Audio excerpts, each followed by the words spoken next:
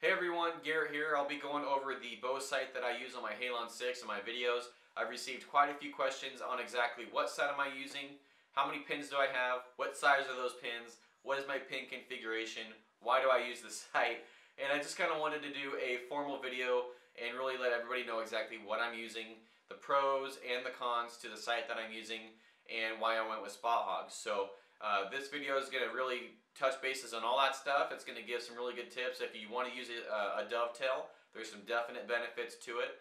And uh, hope that you guys enjoy the video. Alright guys, so this is the sight. This is the 7-pin Hogg It on a dovetail. And this is what I use. I literally just took this off of my Halon 6, put it on my workbench so I could better handle it in the video and show you exactly what I use. Now when I say dovetail, what they mean by dovetail is this bar between here and here. This is where the adjustments happen to keep it farther away from your riser or closer to your riser. Now that does two things. That allows you to see your target better, makes your pins a little bit even finer and smaller, and you can focus on your target better. On the flip side of that though, your pin will be dancing a little bit more as any movement will show up a little bit more eh, the farther away from the riser it is. So, another thing that that does, the second thing that that does, is if I want more pin gap, and I put that thing farther away from my riser, you're going to see my pins go like this and get a lot farther and farther apart.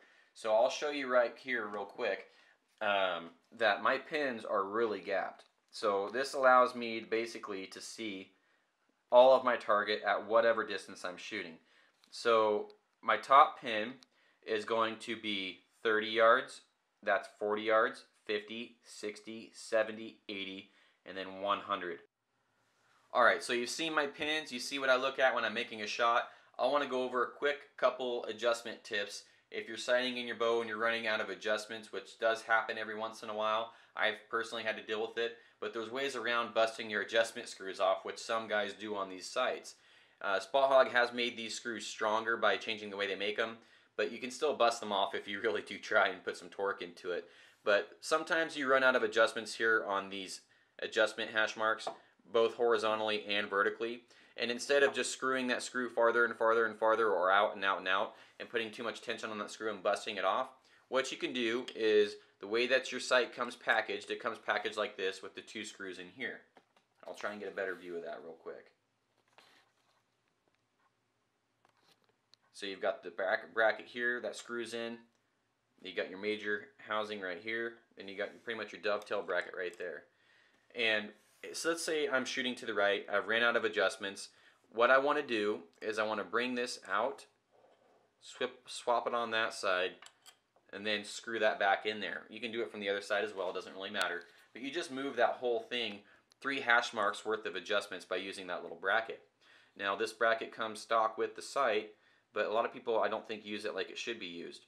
So just a simple little bracket. Let's say if I'm shooting to the left, it comes factory stock like this right here, well, all you got to do is push that bracket on the other side, and there you go.